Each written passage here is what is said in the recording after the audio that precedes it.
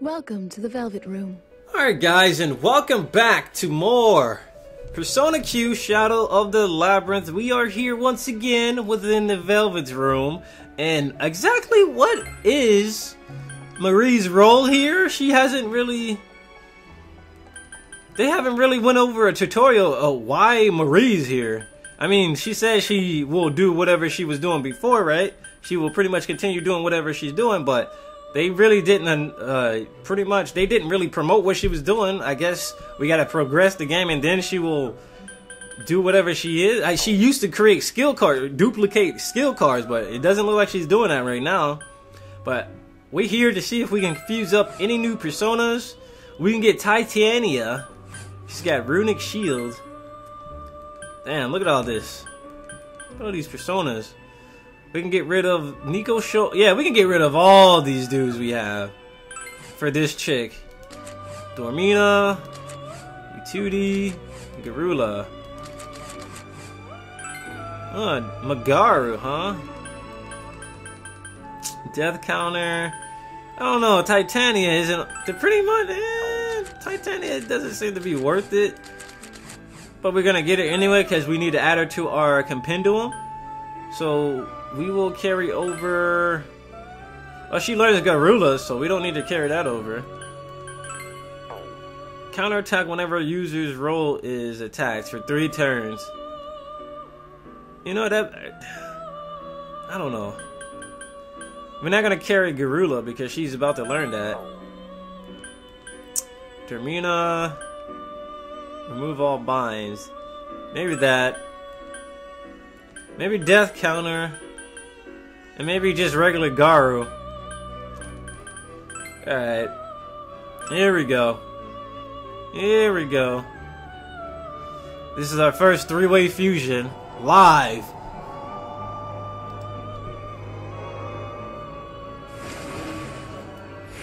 She did it.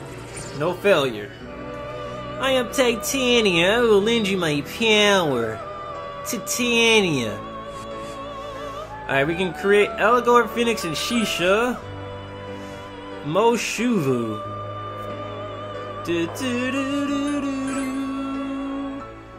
Um, to be honest, I do not care all too much about Titania, and I think I might just fuse her up here. Yeah, we're gonna fuse Titania up. Because we can carry over Wind Wall, Death Counter if we want. We can carry over No Paralysis. We might want to carry over, like, Resist Ice.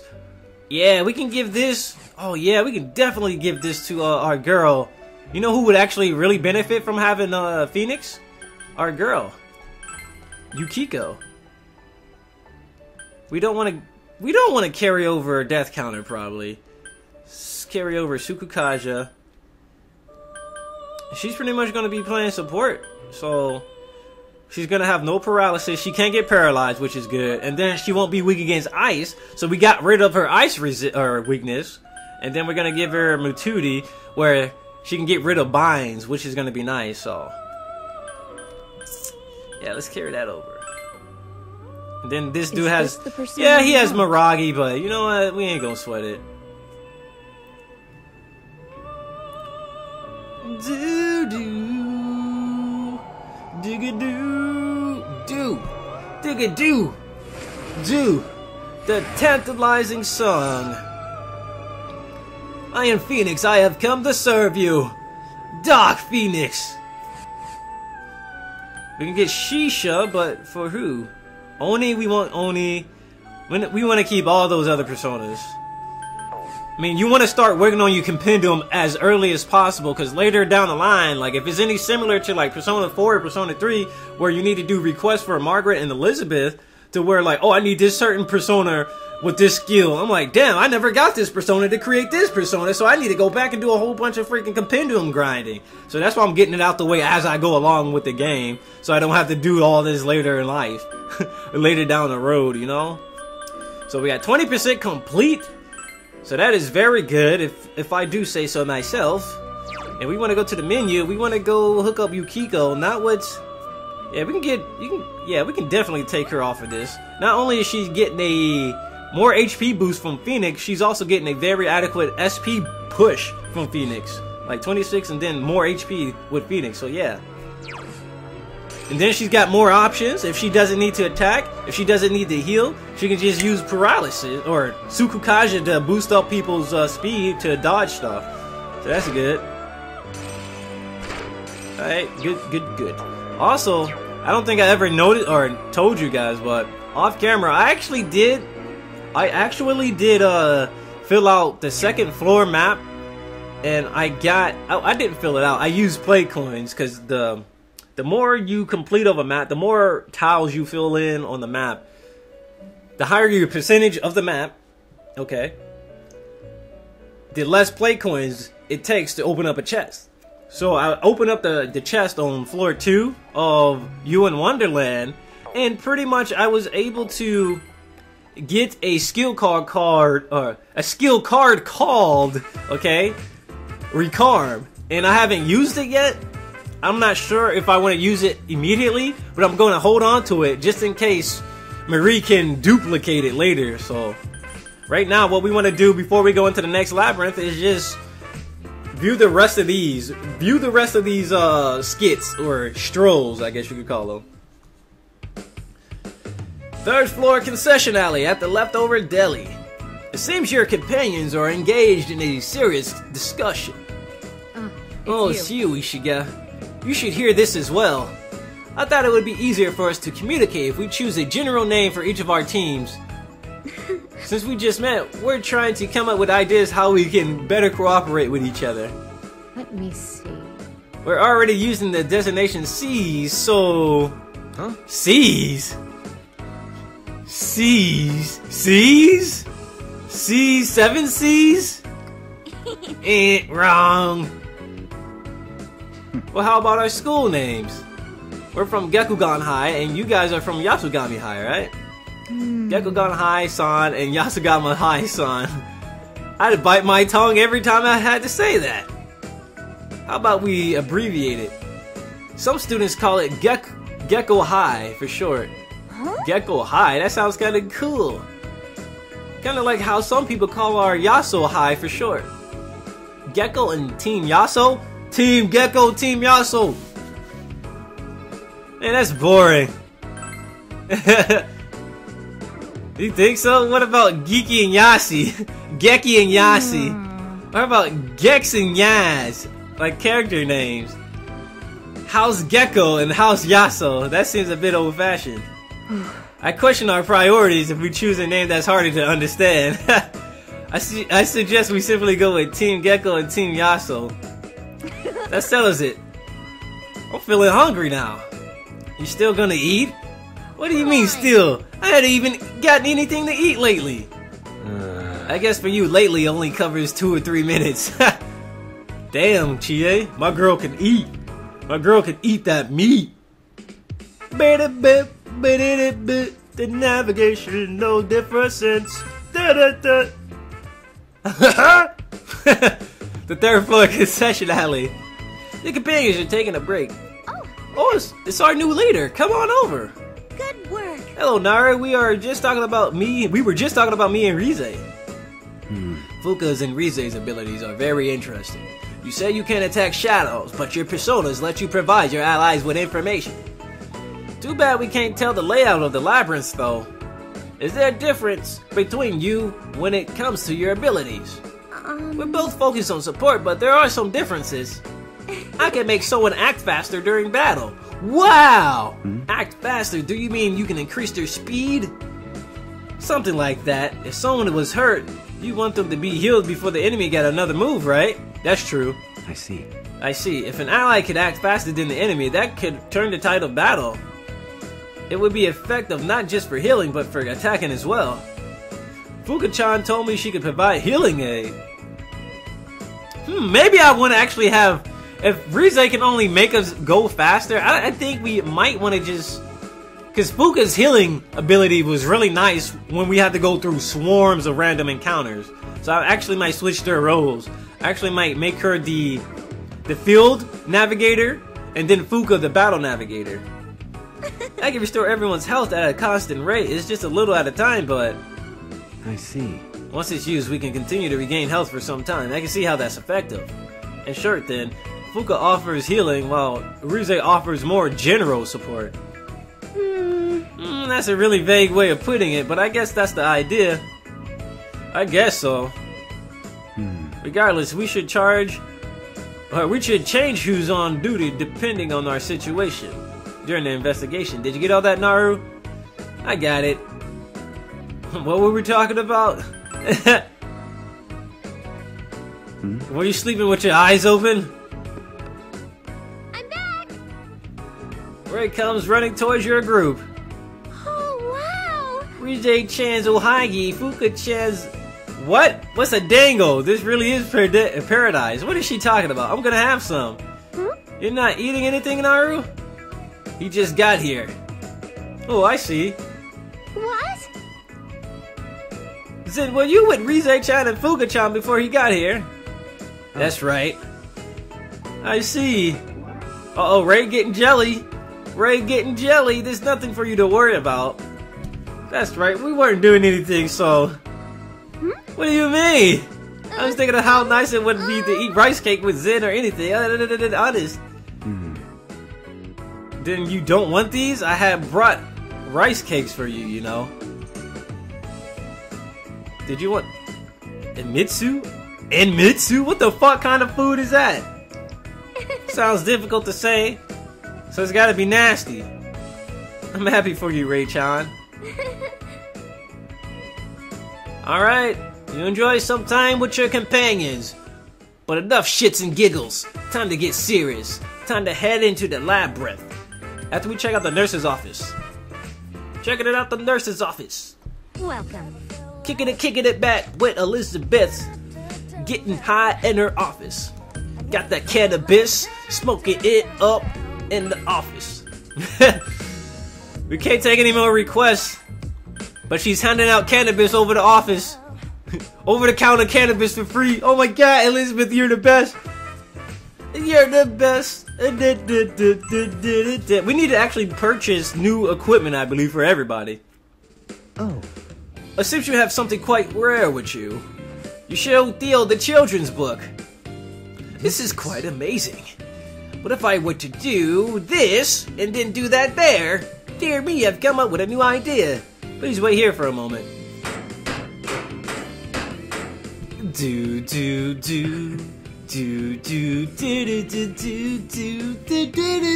do do. I'm sorry, guys. I just had to jam out. I'm sorry.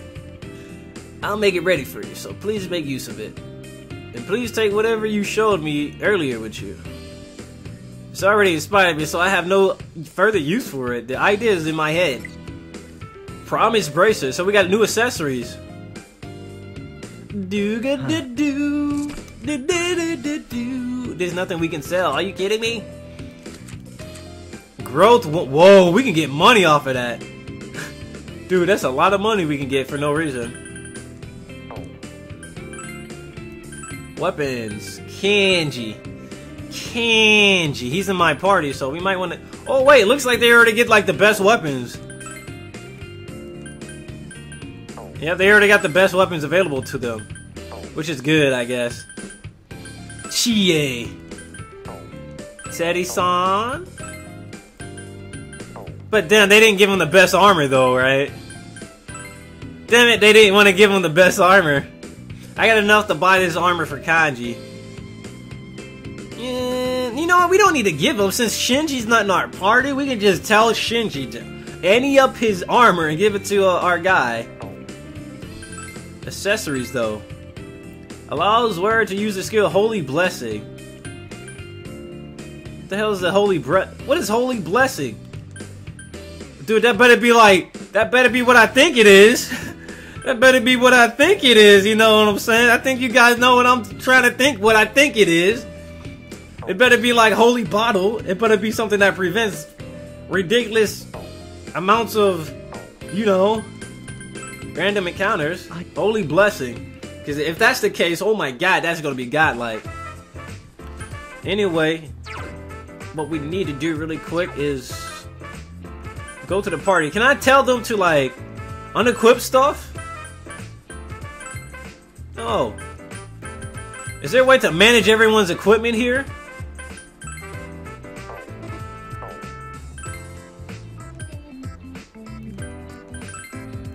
Yeah, I want to actually switch Rise to that and then Fuuka to navigation on the battle support. What the? Allow Fuuka to provide support during battle, but it will be Rise's voice? What the hell?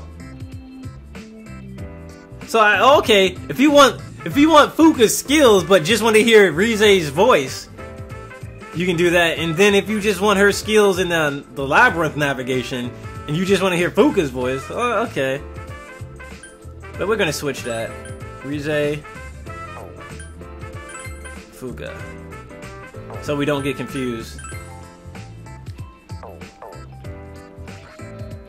This sucks. Can I go through my Ah, yeah, I can't go through my team, uh, my reserve team's equipment. Good stuff. We want to take that off of him really quick. We want to give that to our buddy, Kanji. Kanji. Kanji. Kanji. Kanji. And we're actually going to give growth. We're actually going to give that growth talisman to Zen and Rei. I want to level them up since they probably will get the least time in my party. And we want to pretty much all-purpose apron, huh? Eh, I guess they're fine. But I think I do want to take off the accessories from the other classmates. Like, I believe... Yukari had one. Yeah, let's take that off of her. We also got to take the other one off of Vegas. Oh, she can keep that he had the monocle, so let's take that off of him. Alright, now we need to go to Naoto, give her more SP. She'll probably need it. Her hit rate is good, I believe. We're gonna give her... We're gonna give him the monocle. Alright, it looks like we are good to go. I mean, Yukiko doesn't have a an, an, accessory, but we're ready. We're ready to finally hop into the next labyrinth.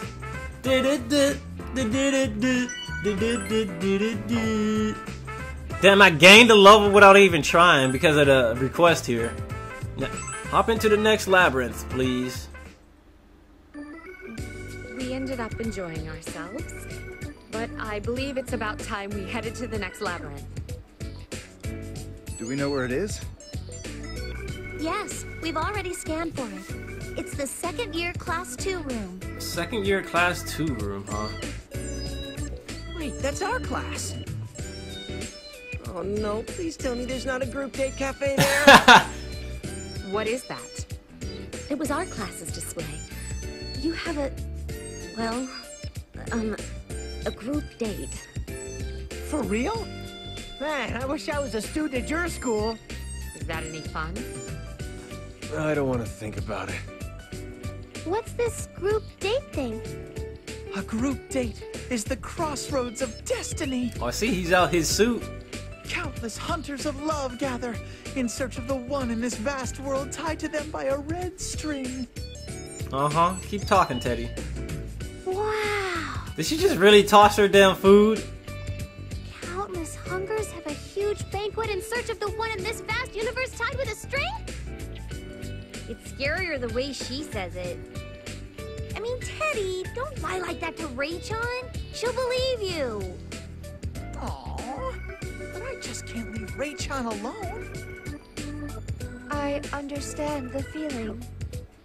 I won't leave you alone either, Ai-chan. May I score with you? I refuse. From what you say, it sounds like this group date is a rather refined event. Uh, not in the least. Is a red string really tied to the person you're destined to be with? I don't know, but I think we all want to believe that it is. Mm-hmm. I'm sure it exists. Right, Sam? I just can't stop looking at Yukiko's damn black freaking peerless eyes like they're just they stare into your soul, man. You're going to eat string? That's Ew. not what I meant. Red string, you're gonna eat freaking toothpaste? It's still not noon yet. I guess it really is stopped. What are you talking about? The clock tower outside. It's been the same since we got here. I couldn't tell if it was wrong or stopped, but No, it's not stopped. It's moving. Just oh, I see. Then the time must not be right.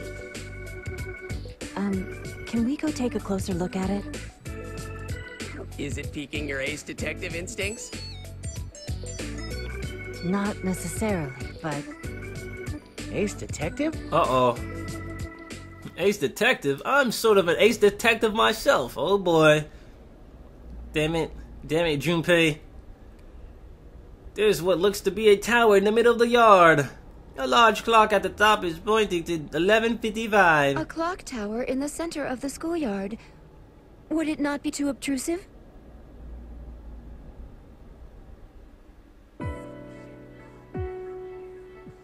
That's odd. There's no door that would lead inside. How is it maintained? Could its mechanism be inaccurate because of a lack of maintenance? Thing is, we never had anything like this at Yasogami. You don't? Actually, I recall an occasion when the principal told me something. He claimed there was a clock tower at Yasogami High at one point, though I don't know what it looked like. Really? Oh, I think you're right. I kind of remember one. But I remember it being more like a small monument, not a huge tower. At least, I don't think it was so big that a person could go inside. And I remember hearing that it was demolished before I started elementary school. And that would place it over 10 years ago. Could this mean we've traveled back in time? Possibly. Tra- time travel? Why? of course. That's the answer to all these problems. Time travel. Wait, seriously? I can't say for certain yet. There's no explaining things with common sense in a place where shadows roam. You're right. This place is pretty strange. I don't recall going into a TV, and we don't need our glasses. TV? Wait, that's not the first time you said something like that. What are you talking about? Huh? You guys don't go into TVs? Then how do you get to where the shadows are? We go to Tartarus during the dark hour. Oh, right. We're supposed to be the only ones inside there.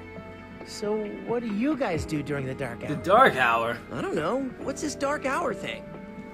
You don't know of the Dark Hour? Are you truly Persona users? The Dark Hour is a hidden time which follows midnight. Those without the potential cannot detect it. During the Dark Hour, shadows appear within a tower that we call Tartarus. I hate Tartarus. and it's the only thing that's keeping me from replaying Persona 3. And every month on a full moon, an especially large shadow appears. We fight and defeat these in the hopes of eliminating the Dark Hour. Man, you guys' thing sounds pretty different from ours. Um, then what are you all... We're pursuing a killer. a killer? There's been a serial murder case going on in the town of Inaba where we live. The killer works by putting their victims into the TV. Inside the TVs, there's a world filled with shadows. That's actually where Teddy is from. I used to live in the TV world, but then Yosuke and the others came, and I decided to come out. You lived in a world where shadows roam. It's just like Zen and Rei. I'm like Teddy? Then will we be able to go out into the outside world with everyone? Like he did? I'm sure you will. I didn't even think about going outside until Yosuke and everyone came. But when I did leave, it was so much fun that I wished I had done it much sooner. Me too. Until everyone came here, I never even thought about going back. It's true. Hey, Zen boy, don't tell me you don't like being treated the same as me. It's a real honor, you know. Can it, Teddy? I was just getting the important part. So anyway, if you're in the TV world on a foggy day, your own shadow will attack and kill you. Normally, only Persona users can go in and out of the TV. But they can put other people in there as well. So, the culprit is using their persona ability for murder? There's much we don't know yet, but we know for a certainty that we will capture the culprit. Oh my god. Our reasons for fighting are completely different from yours. Anyway, this is not the TV world, and it's most likely not this Tartarus you speak of either. Which means that we know almost nothing about it. I believe we should cast aside all that we think we know, and learn the rules of this world. I thought this clock tower might provide some sort of hint, but that's unlikely if we can't enter. I'm sorry to have wasted our time here. Let's head to the next labyrinth.